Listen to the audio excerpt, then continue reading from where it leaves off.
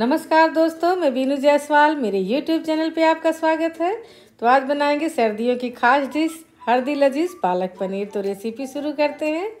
तो मैंने 500 ग्राम पालक लिया, इसे तोड़ करके मैंने इस तरह धुल करके ले लिया। लिया मैंने चार से पाँच हरी मिर्च और लिया एक चम्मच अदरक और सात से आठ कली लहसुन के। 300 ग्राम पनीर लिया मैंने और इसे काटेंगे अपने मनचाहा सेप में। और पानी उबालेंगे एक बर्तन में और इसमें डाल देंगे हम ये अपने अदरक, हरी मिर्च और लहसुन। और इसमें डाल देंगे हम अब पालक के पत्तियाँ। इसे हम ब्लांच करेंगे। देखिए, सारे पालक की पत्तियों को डाल दिया है मैंने और ये डूब गई हैं अच्छी तरह से गर्म पानी में। और इन्हें रखना है हमें तीन मिनट। इन्हें ओवर कुक नहीं करना है, वरना ये काली हो जाएँगी।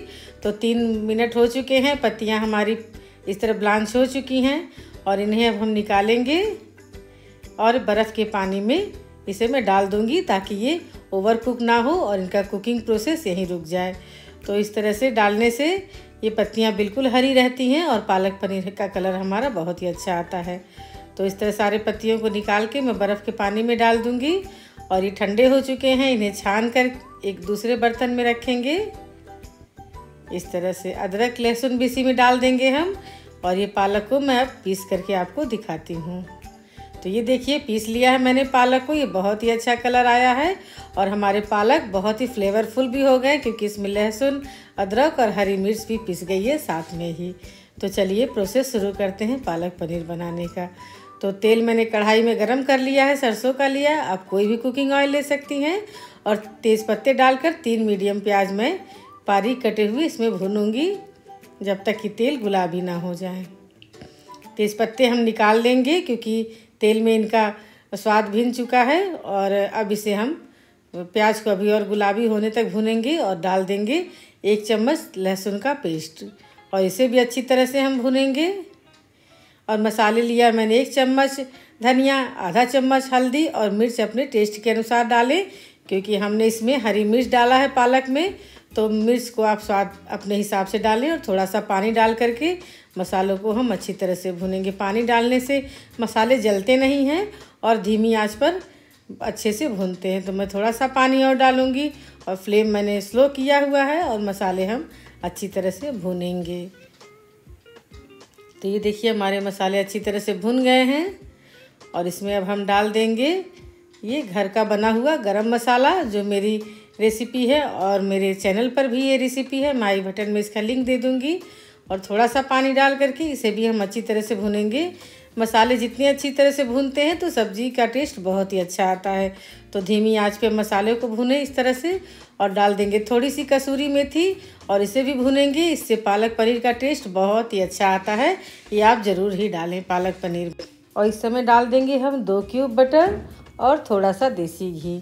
तो इन दोनों को डाल करके हम मसालों को अच्छी तरह से भूनेंगे। तो ये देखिए, हमारे मसाले अच्छी तरह से भून रहे हैं और मसाले फट गए हैं तो इसका मतलब मसाले बहुत ही अच्छी तरह से भुन गए हैं। इस समय हम डाल देंगे अपने ये पालक। तो ये देखिए, पालक को डाल देंगे। ये बहुत ही अच्छा कलर आया है और फ्लेवरफुल हमारे पालक हैं। और इसके साथ मसालों के साथ और भी इनका फ्लेवर इन्हेंस हो जाएगा। तो ये देखिए, मसालों के साथ हम पालक को मिक्स करेंगे इस तरह से। और इसमें उबाल आने का इंतज़ार करेंगे। तो देखिए, पालक में उबाल आ चुका है और अब डाल देंगे पनीर के टुकड़ों को।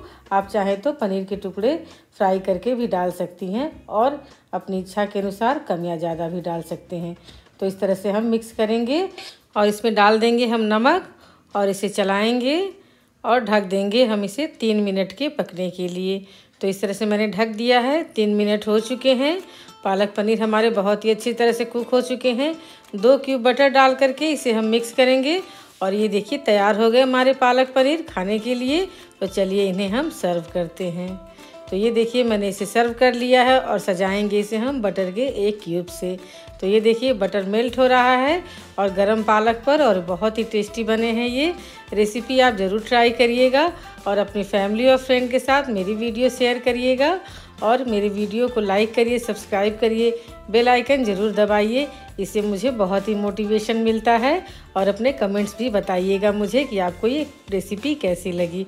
तो आप मेरी वीडियो को देखने के लिए आपका बहुत बहुत धन्यवाद।